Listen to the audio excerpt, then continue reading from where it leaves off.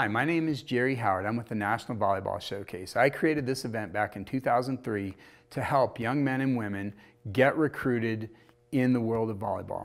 We know that it's very difficult to play and get seen, especially during your high school season, because a lot of times that's the same season as the college coaches.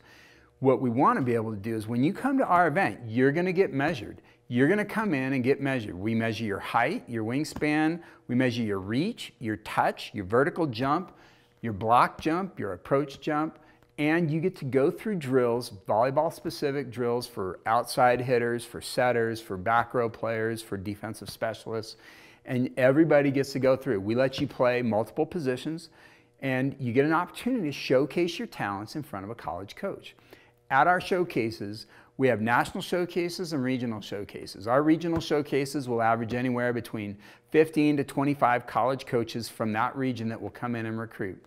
Our national showcases are huge. We run those during the club volleyball season, and we've had as many as 150 to 200 college coaches at one showcase event.